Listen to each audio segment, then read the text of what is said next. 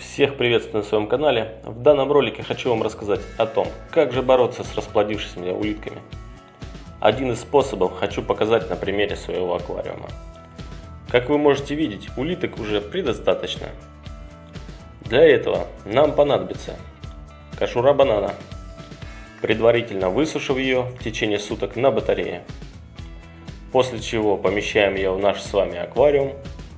И как мы можем видеть, она очень хорошо тонет. Эксперимент будем проводить в дневное время, и длиться он по времени будет около часа. Ну что, ребята, смотрим. Итак, прошел час. И что мы видим? Какая-то часть улиток приползла полакомиться этой кожурой банана. Мы достаем ее и кладем в лоток или в пакет.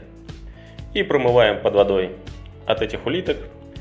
И заново кладем в наш свой аквариум и в течение суток мы можем избавиться от надоевших улиток. Ребята, эксперимент я считаю удался. Всем хорошего дня, подписывайтесь на канал, ставьте лайки. Всем пока.